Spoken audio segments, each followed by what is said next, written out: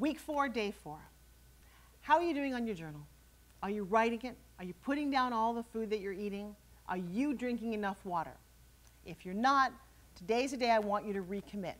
I don't care what the excuses are, I don't want to hear it. I just want you to look at this page and say, you know what? Today, I'm going to write down everything. When I got up, here's what I ate. Here's the time I had breakfast, my snack, my lunch, my snack, my dinner, my snack. How many waters? One, two, three, four, five, six, seven, eight, all of them. Do that today for me, for you, okay? Now, taboos. What does the word taboo mean for you? Well, basically, there are, three, there are things that we're not allowed to do, right? But secretly, we wish that we could. I want you to write three things that are taboo for you that you wish you could do.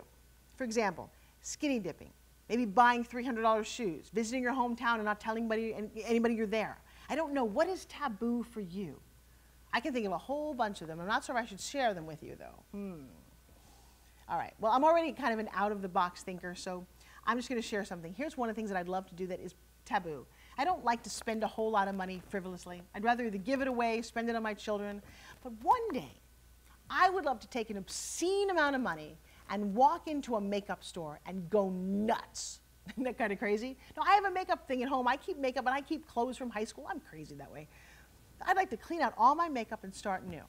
Now, I had to do that one day because I went to Vegas for an award show and somebody stole my luggage. It cost thousands of dollars. Luckily, the insurance company reimbursed me for some of that, but it was a painful process. I only bought what I needed. I'd like to go with a sense of abandonment. Just think, Julia Roberts' Pretty Woman. You walk into that store the dress is obscenely expensive and you just buy it. That's taboo for me. The rest, uh, as close as we're getting now, I'm just going to keep to myself. I'm, I'm not going to your house and looking at yours, okay? So just write them down, stick them in a drawer. And then I want you to imagine yourself doing one of them something that was totally taboo, the most crazy thing you could imagine that you'd like to do. I mean, think of it a kind of an erotic novel. What would you write that you would never ever say out loud? Do this. See, this is very personal. This is very secret kind of dreaming. No one's ever challenged you to do this before, I bet. Hmm. Okay. I know, you're smiling, aren't you? All right. I'm going to let that resonate for a second. I'm just going to go down to my little post it.